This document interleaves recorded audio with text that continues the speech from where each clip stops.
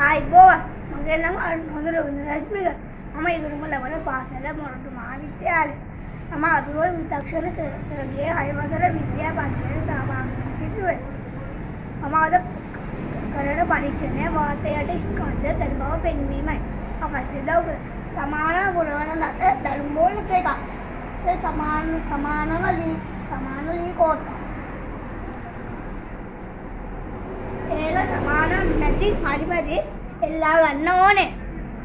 දැන් අපි උලිප කරන්නේ සමාන බැලුම් බෝල දෙක. මේ ලී කෝට්ට කොන් දෙකේ එල්ල ගන්න ඕනේ. ඊට පස්සේ ඒක බැලුම් බෝලයක්. එක බැලුම් බෝලය කඩා ගන්න ඕනේ.